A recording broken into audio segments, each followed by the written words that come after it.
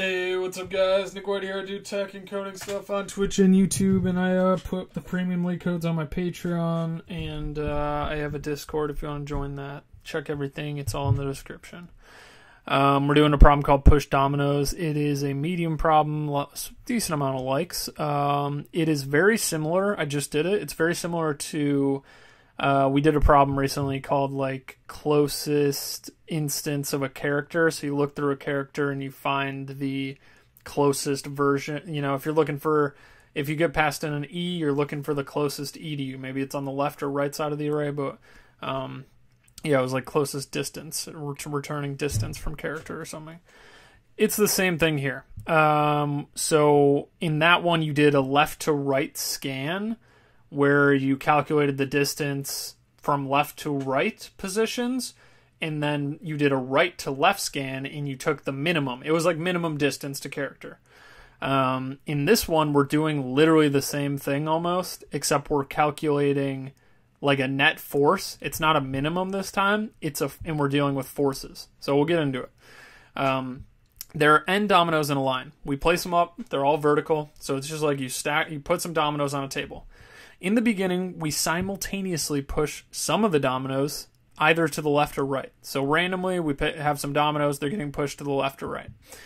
Uh, after each second, dominoes falling to the left push the adjacent dominoes to the left down. Right dominoes push the adjacent dominoes to the right down, just like in regular dominoes. So if this domino is falling, it's going to knock down the one to the left. This one's falling to the right, it's going to knock down one to the right.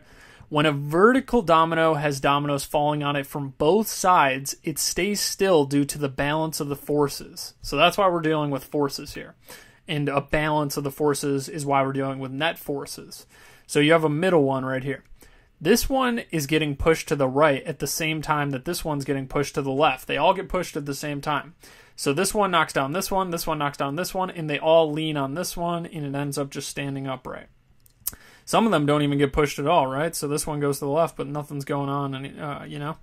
So for the addition, for the purpose of the question, we will consider that a falling domino expands no additional force to a falling or already fallen domino. Okay, sure.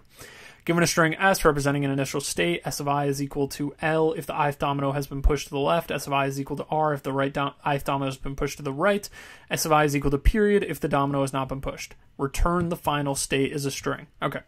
So we're given a string. L means it's getting pushed to the left. R is pushed to the right, and period is just standing up straight. Okay. So this is just a representation of that picture above. So L pushes this period. So it's LL. Uh, nothing happens to this one. R gets pushed to the right, so it hits this one, but at the same time, the L gets pushed to the left, pushes this one. You know, we just went through it, but we're returning the string. So, how do we do this? Obviously, we have to loop through the string.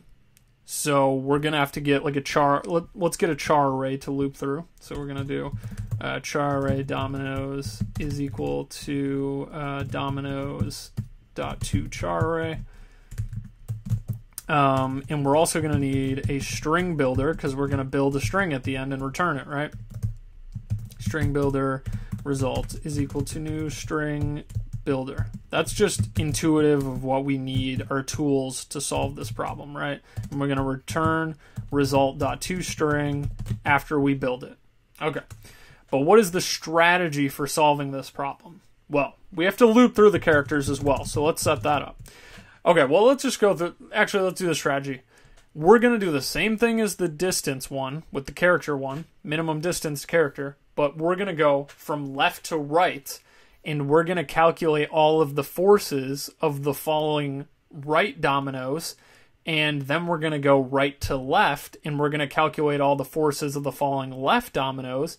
We're going to you know add them onto an array at each index. So whatever force you know whatever the net force is here we're going to have an array that represents it. And if it's positive then that means it's going to fall to the right. If it's negative it's going to fall to the left um, and if it's zero, it's just going to keep standing upright. That's it. So it's literally you just construct an array of forces. So let's just do it, and you'll probably get it on the way.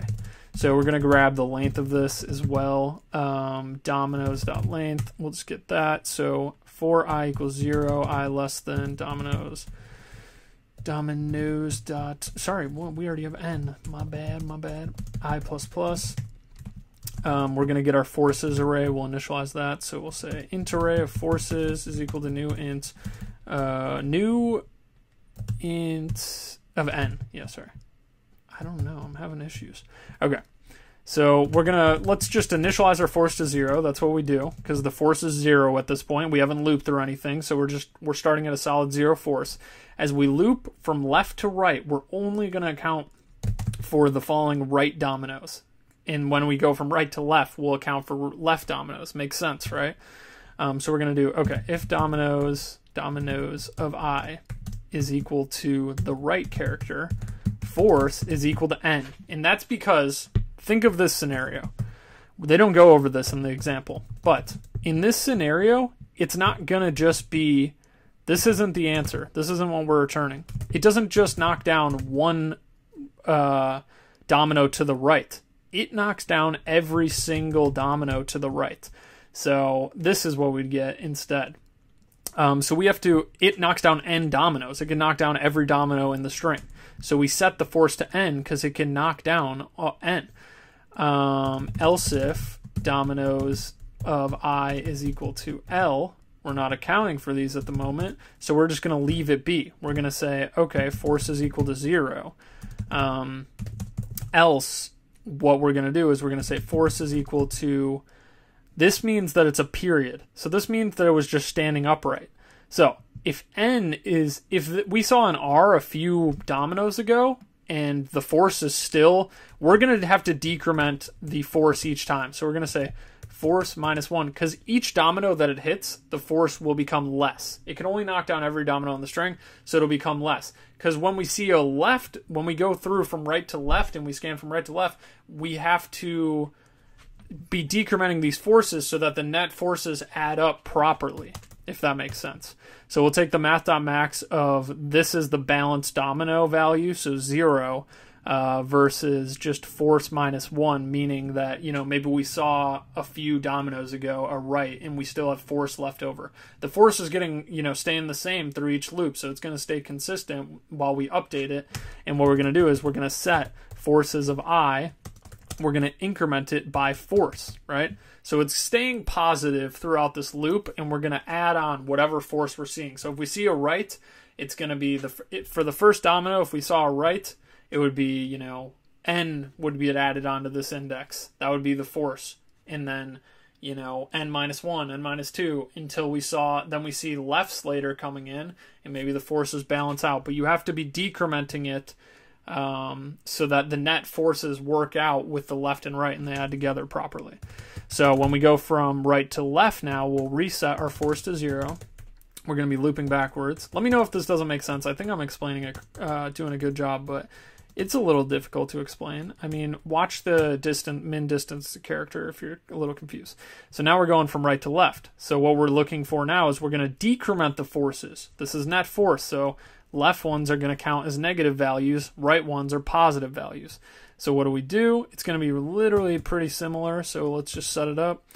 Um, we're looking for left dominoes now, and we're going to say, okay, force is equal to n, but what we're going to do is we're going to say minus equals force. So it's literally the same thing, same power force, left and right of the same power of force if you see a left and at the end of a string and it was all no lefts until then, it would knock down the whole string, same as the right. Um, so we subtract the forces, and since we decrement each time, just like how we decrement up here, when the rights and lefts are far away, the net forces will it'll work out so that um, we could tell whether we need to keep one balanced or not. If a left is a farther distance away than a right, the force will be more powerful, meaning it will be, you know, a positive force instead of a zero. So now all we have to do down here with our string builder, I hope this makes sense. I think it makes, like, I think I'm explaining it pretty well. Um, now all we have to do is for integer f in forces, the forces array, we built it out with the net forces, and now we just want to check the force. So, okay, if force is positive, so if it's greater than zero, well, then that means the net force was positive, so we'll append an r to our final string. So we'll append character r onto our string builder. Okay, else if force is negative, we have to append a left because the net force was negative, meaning we saw left for you know more recently. Okay, then a uh, right, or so you know the left was closer, so it gets knocked down. It's just how it works. And then if it's balanced, then we leave it staying upright. So that's it. I mean, it's. I think the logic is easy. I think it's just a decent amount of code, and you could get a little bit confused by the code. I think the concept's pretty straightforward and uh, I like this problem. So that should be it. You return the string builder. Um, what do we have? Dominoes already defined. Yeah, I figured that might be a problem. That sucks. Can we just change this to uh, string? you know, that would really save some time. No. Why? n minus 1 why? Alright, sorry guys, I had to edit that. See, here's the problem. I didn't put R here because I copied and pasted above and I'm, you know, made a mistake. Everyone makes mistakes. My bad. But yeah, so um, I think I explained it pretty well. Just uh, calculate the net forces, then go through at the end. And it the math works out so that if it's positive, it'll be right. If it's negative, it'll be left. If it's zero, it'll be a period. And there you go. Um, let me know if you guys have any questions about this. Uh, and thank you guys for watching. Really appreciate it. So, uh, yeah, I mean, I'm just going to do some more right now, so I'll see you guys in the next one.